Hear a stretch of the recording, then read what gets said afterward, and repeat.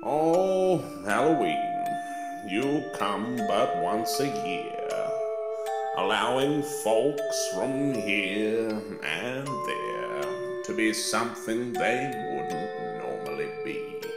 My name is Morgan Freeman, and I am a pumpkin. Happy Halloween.